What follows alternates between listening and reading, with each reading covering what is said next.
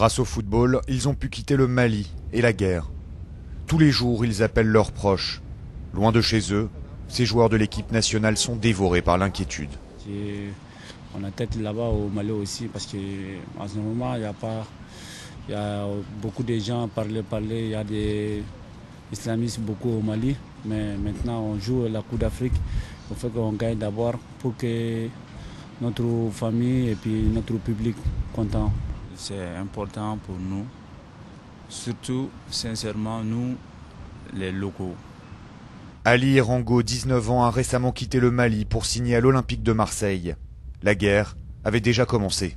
Euh, j'ai peur parce qu'il y a des familles là-bas, il y a des amis, il y a des frères, il y a des, beaucoup là-bas. J'ai peur parce qu'on n'a pas habité ça. C'est ça.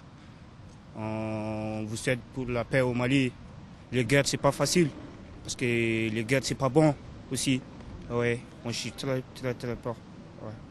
Pour aider les jeunes, les cadres de l'équipe se mobilisent, apportent leur expérience à l'image de Mohamed Sissoko.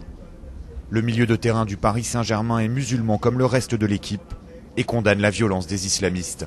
Ce qui se passe euh, dans le nord du Mali, pour moi, c'est une chose euh, inadmissible.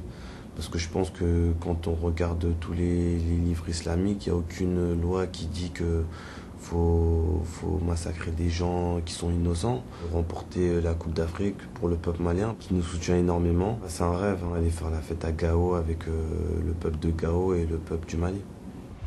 Les aigles du Mali sont embarqués dans une aventure qui dépasse le football. Leur pays a besoin d'eux.